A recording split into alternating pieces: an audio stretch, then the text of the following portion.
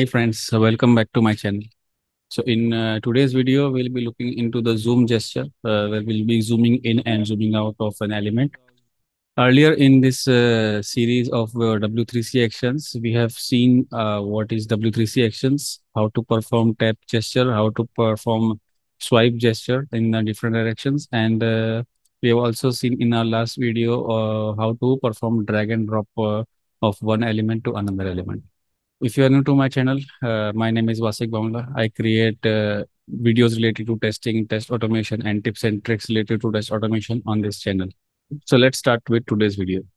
So let's understand uh, the zoom gesture, how we will be performing this gesture, and uh, we, how we will be building this uh, gesture. So first we will focus on zoom in. So zoom in in basically will just uh, zooming in in the image, and that action will be performed by moving uh, our first finger towards the left direction and uh, our second finger will be moving towards the right direction. And both these fingers will be moving uh, in the opposite directions uh, simultaneously. So that's how we will be uh, emulating the zoom in gesture. Now to understand how to derive the coordinates for the starting position and ending position firstly we will identify the center of the image. And from that center of the image we'll reduce the x coordinates for the, the first finger uh, by few pixels and we'll increase the x coordinates for uh, the second finger by few pixels. So that way, both the fingers will be a little bit apart uh, on the starting position. And then both the fingers will move uh, in the opposite directions from each other. So that's how we'll uh, emulate the zoom in gesture. For the zoom out, Zoom out is nothing but the pinch gesture. Pinch means uh, both the fingers will start from the edges of the image. Basically, first finger will start from the left side of the image and the second finger will start from the right side of the image. And both these fingers will come towards each other and meet towards the center of the image. So this is how the zoom out gesture will occur. Now let's check out the implementation of the code for zoom in and zoom out. So the first method we will be looking in uh, is the zooming method. So this method has two parameters. The first parameter is the element, which is nothing but the image in which we will be zooming in.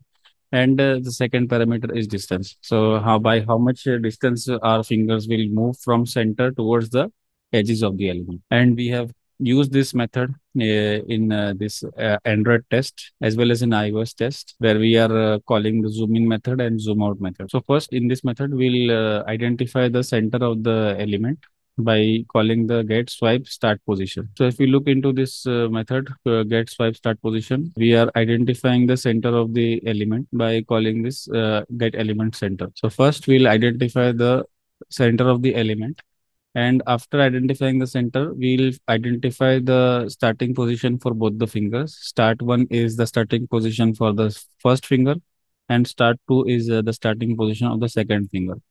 So as we have seen in the diagram, uh, we'll be reducing the x coordinates of the first finger by 50 pixels and we will be increasing the x coordinates of the second finger by 50 pixels. That way, at the starting position, both these fingers will be few pixels apart. Now, next we'll identify the ending positions of the both the fingers. So the first finger will be moving towards the left direction so we'll be identifying the left coordinate for the end coordinates of the first finger. And the second finger will be moving towards the right direction of the element. And that so by calling this method, we'll be identifying the end position for the second finger which will be ending towards the right of the image. So here we have uh, printed all the uh, values which we have identified and here we are creating a sequence for the first finger and we are identifying the sequence for the second finger so basically, this is nothing but uh, it will perform the swipe action using the first finger. So this is uh, finger one is the name of the finger, which is uh, given as finger one. And uh, this uh, finger two is uh, given the name as finger two. And here this parameter is the starting position where I am passing start one.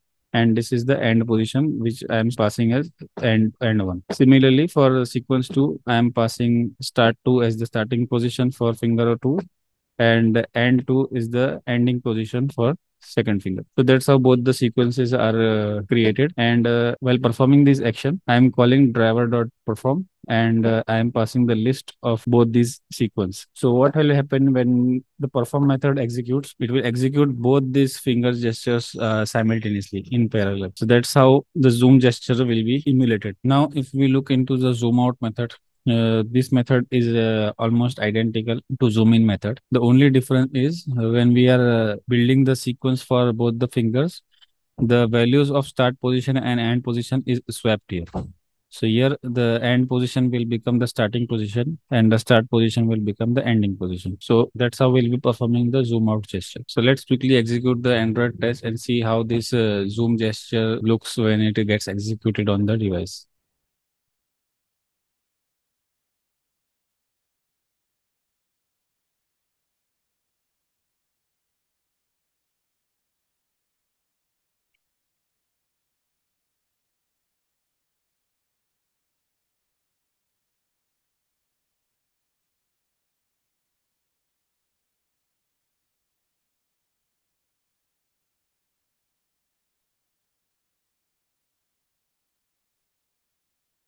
This is how zooming and uh, zoom in and zoom out was working.